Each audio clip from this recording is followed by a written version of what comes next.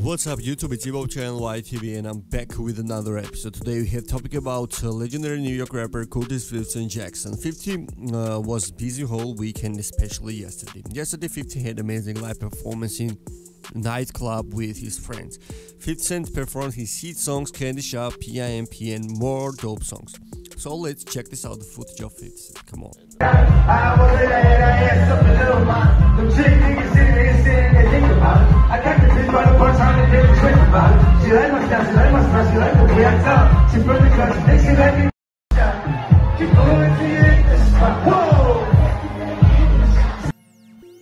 Man, it was dope live by Curtis Fifty Jackson. As always, Fifty doing amazing shows. And today, guys, we have also another topic about 50.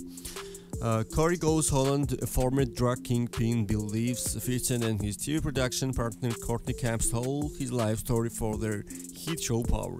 Holland says his relationship with Kemp and her father goes back to the 90s and Alex Kemp and 50 based hundreds of power scenes on his experiences in the streets.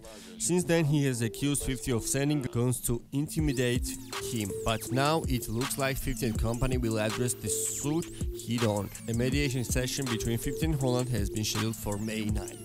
So it is all guys, thanks for watching, it's Hip Channel YTV, if you like the videos and content, subscribe to the channel, also get the notification bells and don't forget to visit the website hiphoptv.com. Thank you so much for watching, peace.